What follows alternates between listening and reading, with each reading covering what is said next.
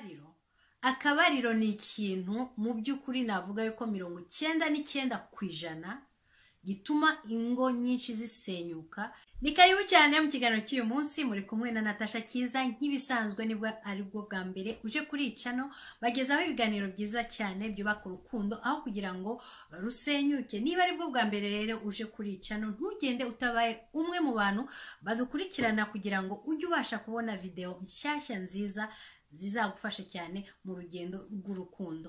Uyu munsi rero ndagira ngo mbagezeho ibintu umunane ibintu umunane bikomeye cyane mu gihe uri mu rukundo. Ibintu udakwiye udakwiye na rimwe kwibagirwa gukora iyo ukundana n'umuntu wawe. Ushobora kuba uri mu rukundo kano kanya ukiri umujene cyangwa se warashatse ibi bintu umunane ndumva bisa nkaho byagutegura wowe uba witegura nko kuba ugiye kurushinga ugiye kugira urugo rwawe cyangwa se wowe rurimo kano kanya ufite urugo rwawe. Ibintu umunani rero ntugende utabirangije ngo ubyumve neza kugira ngo bijye bigufasha cyane mu buzima bwa buri munsi. Ikintu cya mbere hano ni ikihe mu gihe ugikundana n'umuntu hari igihe habaho ikintu cy'agahararo hari igihe wumva mu by'ukuri utabaho utari kumwe n'uwo muntu wumva ko nta wikendi cyangwa se nta munsi ushobora gushira utabonanye n'uwo muntu. Icyo kintu rero cyakagombye guhora kiriho iteka ntaho gishobora kujya kuko niba ushaka kugira ngo urukundo rwawe rukomere rurambe cyane ni uko icyo kintu ugishyira mu buzima bwawe bwa buri munsi. Reka tuvuge urugero guhora ufite date n'umukunzi wawe cyangwa se gusohokana n'umukunzi wawe. Yewe niyo mwaba muri muri za bukuru cyangwa se warashatse. Ni ikintu utagomba kwibagirwa cyane mu rukundo kugira ngo ejo cyangwa ejo bundi utazabona urukundo rwanyu. Rwatangiye neza urubone ruyonga rushire ako kanya. Mutware ahantu urugero kureba muvi urugero kujya kuri pisine gusohoka kugenda ahantu mu mavoyaje ni ikintu cyo ushobora kuba waratangiye mbere ariko kuri ubu ngubu ushobora kuba uri kugerageza kukigabanya mu by'ukuri bigatuma urukundo rwanyu rusa nkaho ruzamo agatotsi. Ikintu watangiye mbere gerageza ugikomezanye n'ubu ngubu niba ufite amahirwe warashatse. Icyo ni ikintu cya mbere ushobora gukora cyatuma urukundo rwanyu rukura umunsi ku wundi. Hari ibintu mushobora kuba mwari mufite mbere cyangwa se mufite kano kanya mwishimira cyane kuba mukora urugero reka tuvuge mwembi mukunda gusohoka cyane mukunda kujya kureba konseri zitandukanye mukunda gukora siporo runaka mukunda kureba se siporo zitandukanye. Ejo bundi urashatse cyangwa mumaze iminsi runaka muri kumwe ibyo bintu na byo bitangiye kugenda biri kugenda biri kubura cyane muri urwo rugo rwanyu cyangwa se muri uwo mubano wanyu. Urugero nkanjye n'umutware wanjye hari videwo ndaza gusiga ku mwisho w'iyi videwo aho dusohoka hamwe tujya mu mu kwishimisha hanze avuye ku kazi arushye mvuye ku kazi ndushye dufite abana tugomba kwitaho. Ni ibintu byinshi cyane kugira ngo twembi duse nk'aho turuhuye mu mitwe. Nuko hari ikintu duhuje hari ikintu dukunda twembi dukunda ibintu bya siporo icyo kintu ni cyo navuga yuko gishobora kuba kimpuza ngewe nawe niba twaragitangiranye nawe mu ntangiriro kuko dushatse kano kanya abana bajemo ubuzima bubaye bubaye bubaye burakomeye kubera yuko hari responsabilite nyinshi. Icyo kintu duse nkaho tukivanye muri sikeje y'ubuzima bwacu bishobora kuba byagorana cyane. So ni ibintu rero wakagombye kuba uzi neza niba hari ikintu kimushimisha nawe kigushimisha muhuriraho mwembi mwakagombye kuba mugikomezanya kugeza aya masaha. Ntimukizimye kugira ngo urukundo rwanyu mu by'ukuri rurambe ikintu cya gatatu hano ugomba gukomeza cyane. Wari umenyereye kuza buri munsi usanga uwo mukunzi wawe muhurira ahantu. Niba uzi neza inshuro ya mbere yaguhaye hag cyangwa se yaguhobeye urumeza wigeze kuba wumva mu nda ibintu bisa nkaho ari byinshi cyane cyangwa se uburyo yagusomaga ukumva muri makeya nta wundi muntu ushobora kugeza ku ku byishimo nk'ibyo ngibyo. Muri kano kanya ukabona ko biri kugenda bisa nk'aho bihinduka. So niba uzi neza ko icyo kintu cyamushimishaga umuhobera umusoma umuguyaguya neza. Kano kanya kuko wubatse cyangwa se wagize urugo urumazemo imyaka itanu imyaka icumi ibintu byose urabona ko biri kugenda bisa nk'aho bihinduka iki ni ikintu nakubwira yuko kitagomba guhinduka na rimwe. Nk'uko wabitangiye nk'uko wabonaga yuko bimushimisha ku nshuro ya mbere uyu ni wo mwanya wo kugira ngo wongere icyo kintu ukigarure mu mubano wanyu kugira ngo cyongere kibafashe. Abakobwa ndabizi ko bakunda yuko umuntu abahobera abasore bakunda yuko abantu babahobera. So abagabo n'abagore na byo niko byakagombye kumera aho kugira ngo birangirire kuri cya gihe twitwa yuko twarongoye ibintu byose tugomba kubisiga iruhande. Ikintu cya kane ahangaha ni udusiripurize udusiripurize natwo ni utuntu usanga tugenda tugabanyuka cyane iyo wamaje kumenyerana n'umuntu.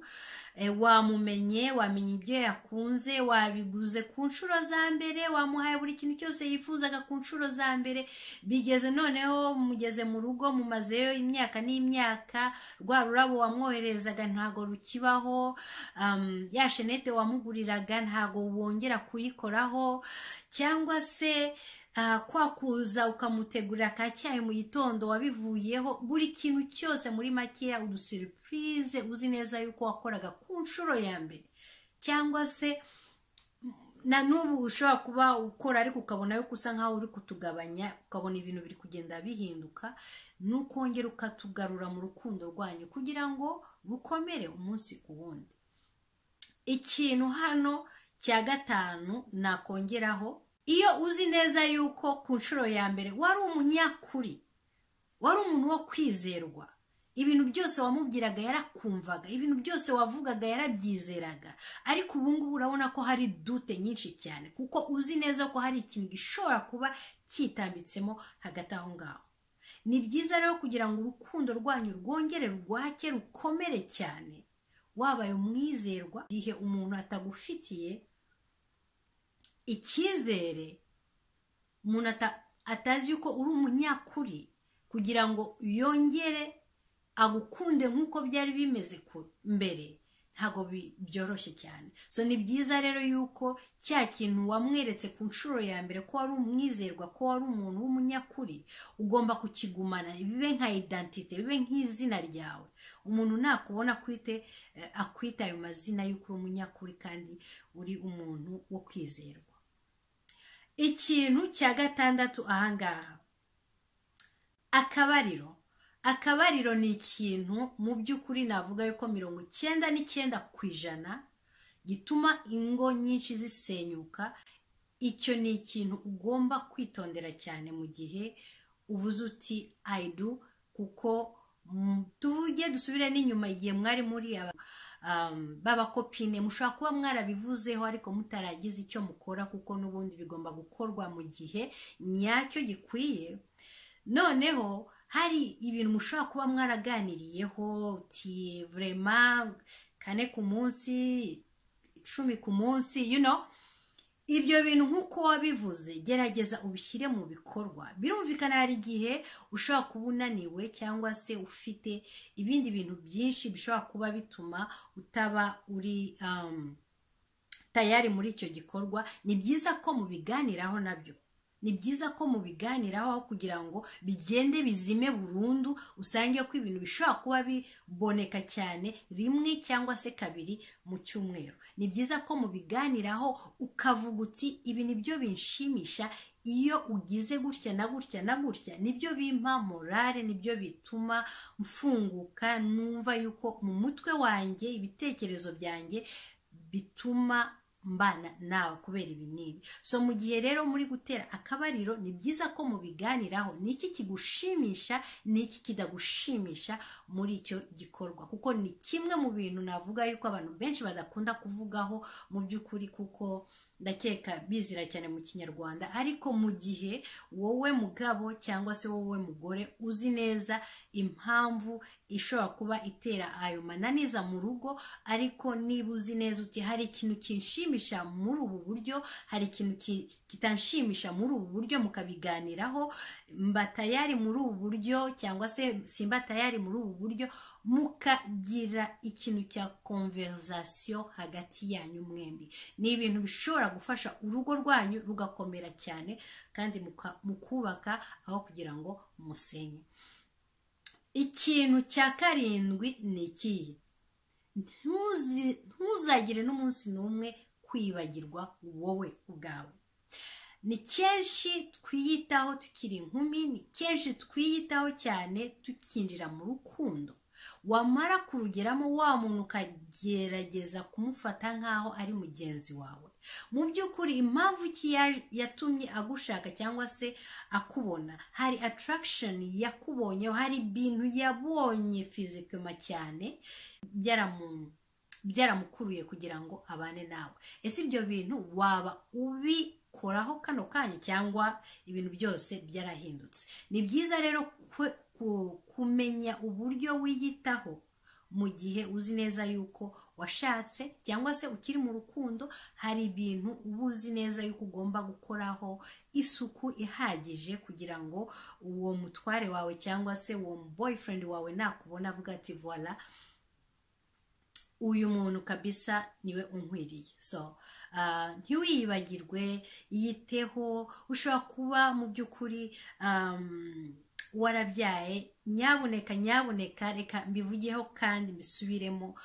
Icyitwa umubyeyi wese aho yaba ariho hose ndakubaha cyane ku mezi icyenda ushobora kuba waratwise umwana kuko ni ikintu mu buzima nubaha cyane kandi vurema numva yuko buri mugabo cyangwa se buri musore yakagombye kureba uwo muntu akamwubahira icyo kintu kuko navuga ko ari sitarago nyinshi cyane umuntu aba afite wikoreye ibyo biro byinshi. Noneho mu mezi icyenda umwana yava mu nda umubiri wawe urahinduka. Birahinduka kabisa ugasanga ubaye deforume ukuntu. Ariko utirekuye nawe ukavuga uti oh ndabona ibintu byahindutse. Reka ndebe yuko nanasohoka hanze reka ndebe yuko nanatembera reka ndebe yuko hari ikintu ushobora gukora cyamfasha kano kanya kugabanya ibiro. Reka ndebe regime nshobora gufata kano kanya. Ntiwirekure. Gumya wiyiteho wibuke ko hari ibanga ryatumye uwo muntu muri kumwe akuzaho gerageza uharanire icyo kintu urebe yuko cyagumaho muri uwo mubano wanyu. Icyo ni ikintu rero kizagufasha cyane. Mu by'ukuri gutuma urukundo rwanyu ruhora rwaka nk'urumuri. Niba muzi buji buji burya ntago wamenya ubwiza bwayo utari wayicana ngo urebe uburyo iba yaka. Urukundo rero narwo ni uko nguko. Iyo ubona nk'urwo rumuri urukundo narwo ni nk'uko nguko. Kurubona rwaka buri kanya buri kanya ntiruzime. Nicyo kintu buri muntu wese aba akeneye kugira ngo abone muri iyo relationship. Ikintu cya nyuma ahangaha ari cyo cya munani ni ukumvira. Nyaboneka nyaboneka mu rukundo iyo uteze ugutwi ntuvuge menshi cyane. Ugatega ugutwi ukumva mugenzi wawe. Nta kintu cyubaka urugo nk'icyo ngicyo cyane. Umuntu avuye ahangaha ararushye cyane ashaka kugira ngo akuganirize ashaka kugira ngo akubwire ibibazo uko bimeze. Ariko uri kuri telefone uri bizi ntabwo ushaka kumwumva ntabwo ushaka kumenya n'iki kintu kimubabaje ni iki kintu kimubangamiye ni iki kintu mbese gishobora kuba yanakoze gishobora gutuma urukundo rwanyu ruhubangana. So iyo uteze ugutwi ukumvira muri makeya ni ikintu cyubaka cyubaka cyubaka cyane urukundo hagati y'abantu babiri. So ni byiza rero kubahiriza ibi bintu umunani nk'uko mbibabwiye niba ushaka kugira ngo urukundo rwawe n'umukunzi wawe cyangwa se umugabo wawe rukomeze kandi muzagere ahantu heza hakomeye cyane. Niba nawe ufite ibindi bintu aho hasi muri komenti biranshimisha cyane umunsi ku wundi kumva ibitekerezo byanyu kandi nkabisubiza nk'uko muhora mubibona nsubiza komenti umwe ku wundi. Murakoze cyane rero imana ibarinde aho muri hose naho ubutaha. Caca babaye